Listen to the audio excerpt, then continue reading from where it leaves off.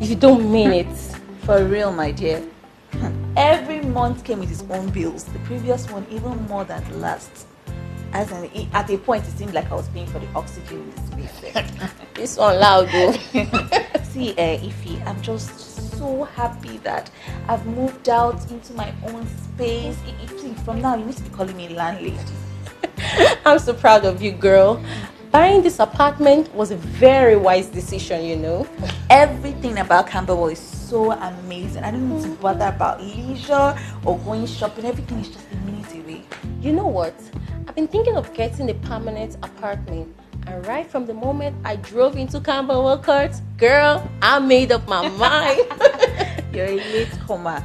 See, almost all the buildings here are sold out. But fortunately for you, there's a phase two. Please tell me more about this. So okay, imagine this place. The living room to the bedroom, kitchen. Is it not comfortable? Imagine it again. Or even maybe better. Girl, plug me in. Plug me in. No problem, I'll call Please. Ify, you want to burn my house? Hey. Hello,